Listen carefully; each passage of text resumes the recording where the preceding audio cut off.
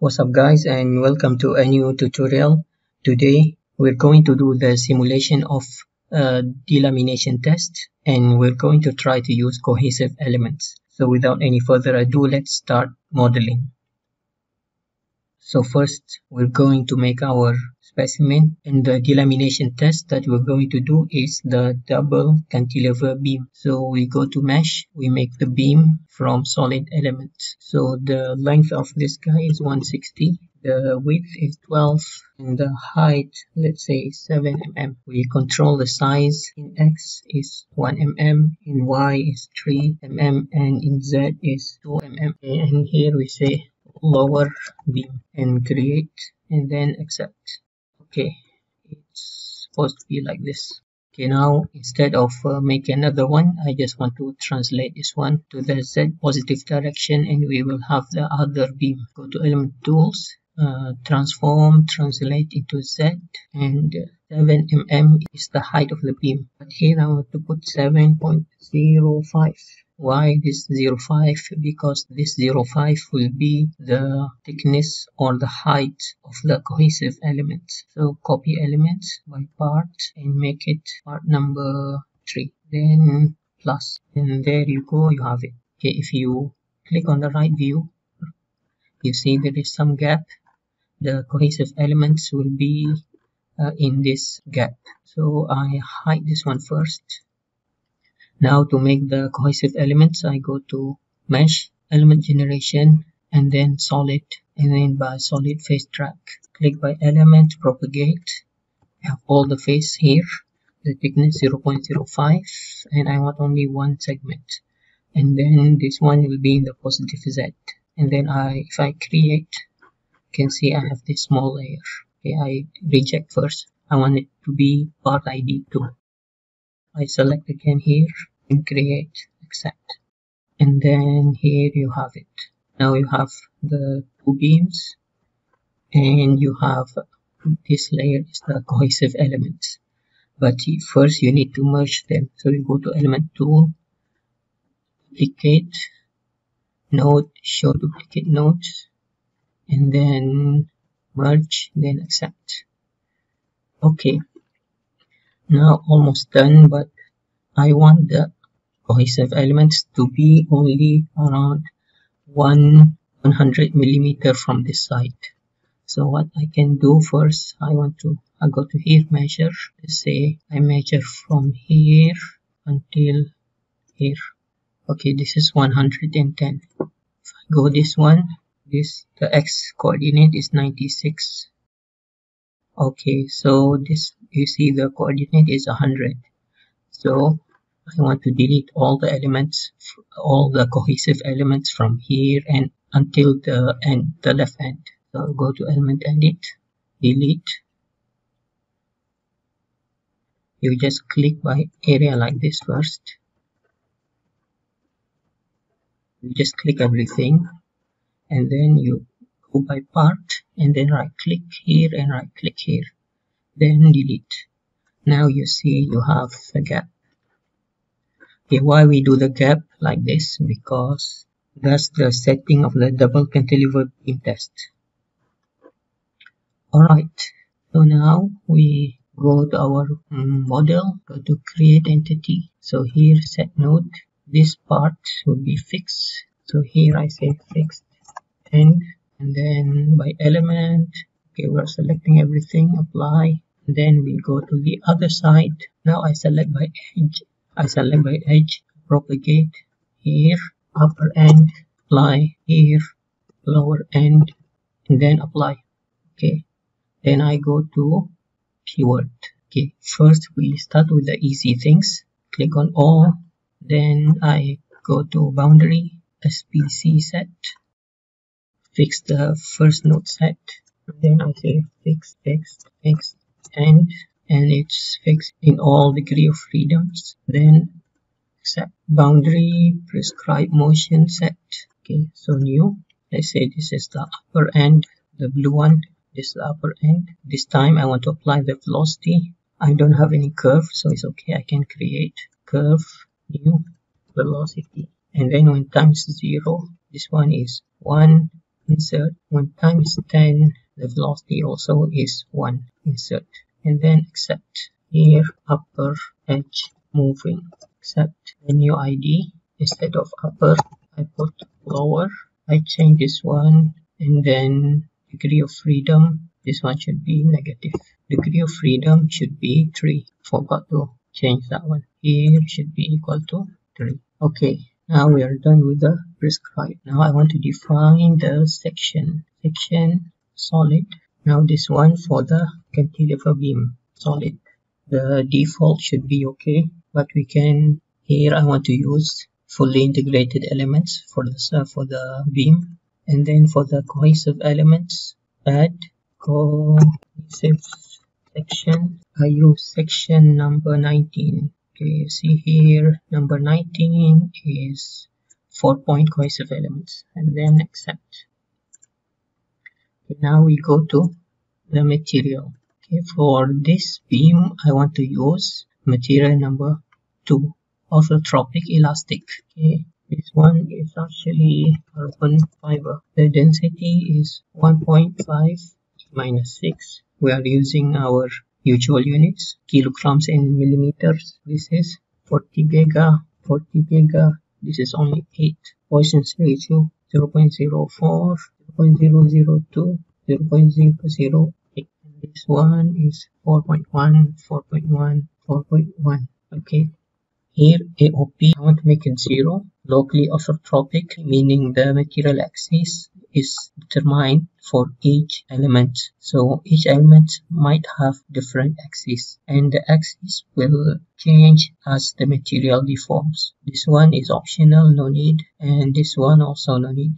Here the material axis switch, I just make it 1 and then accept. A new ID I make it uh, material ID 3 here I want to switch the axis and put it 3 why I'm using two materials because I want to show that switching the axis will actually change the deformation of the material. So here axis switched. Okay now we define the cohesive material and the material is 138 cohesive mix mode you make it number 2 this is cohesive material. Density is the same, E minus 6. This one is 0 because our cohesive element already have volume. If your cohesive element doesn't have any initial volume, then you put it equal to 1. Okay, number of integration point to failure, just put it 1. 1 is 10, the stiffness normal, the tangential stiffness also 10.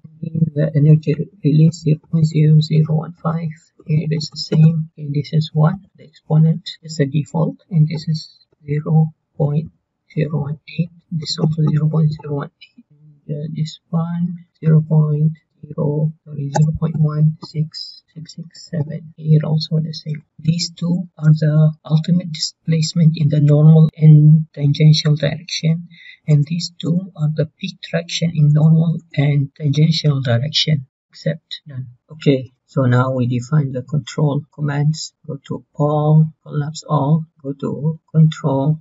I want the accuracy to be high, so I put here is 1, here 4, set. And then control, well, viscosity, this I put it minus 2.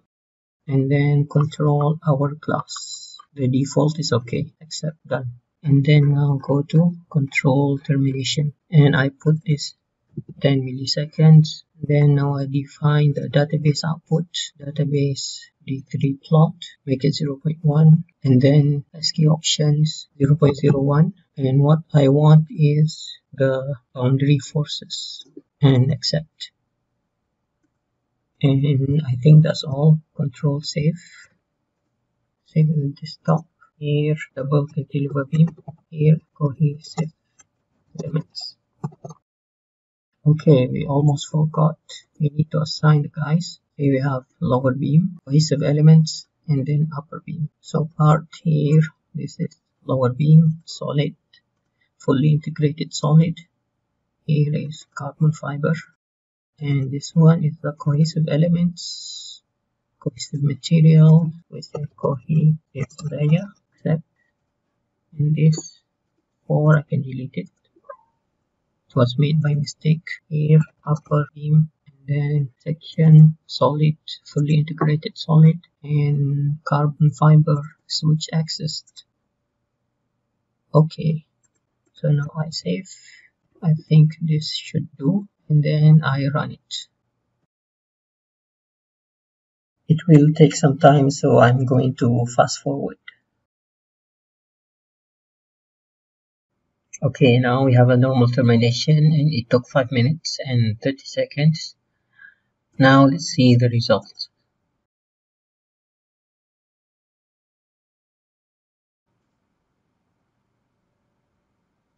okay looks nice. So far so good. To see the cohesive elements. You need to zoom in. You see here the cohesive elements. Okay, they are stretched and then being deleted. Of course you can try a more fine mesh but here I use big size elements so that the simulation doesn't take long time. I go to setting post setting and then I want to show you how to use this one reflection. So now we want to reflect in Z and X and then apply. You see if I apply, if I reset, this is the model that we made and if we use reflect, now you see it become wider. So using this reflect, you can model only half of the problem. Okay, now I want to see from the right if you look carefully actually you can see that there is a difference between the deformation of the two layers and the reason behind this is because we switch the axis of the material. And if we look at the let's say the stresses you can see that the lower material have higher stress because of the orientation of the axis is different. Now I want to try to plot here plot all the forces. Okay we have all the forces like this so I can go to operate and then sum the curves it looks very ugly. So I go to filter let's say I put here 9 this filter SAE and our time in millisecond and I put 600 now I have a better curve. Alright so I think that's all what I want to show you from this model. Now I want to go back here and modify this guy. First I save the different folder. Say type then accept type s to s. Okay this second simulation that we're going to do is for simple people like me if you are a simple person and you don't use the cohesive elements we're going to use contact between the two beams instead of the cohesive elements. So what I want to do here first I want to create a segment in the upper beam and in the lower beam and the contact will be between these two segments. First I go to element tools and blank then I blank this side. Then click on F2 hide this and hide this then create entity set data segment create upper beam create by element propagate click here and then accept. Alright done. Now click on the lower beam. You will hide this one first then create by element propagate click and then you call this lower beam then accept. Now we have both of them. Okay both of the segment. Now click on F2 it can show everything. And uh, also I go to keyword. I don't need the cohesive elements in this second simulation. So I go here and then delete cohesive layer. Go to element tools blank unblank all. Alright. So I go now model edit keyword all and then go to contact tie break surface to surface new ID and here I would say tie break segment is here. This is 0 0 both master and slave are segments. And here is 2 and here is the tensile stress failure. I will just put it 3.36 here also 3.036 and then actually that's all.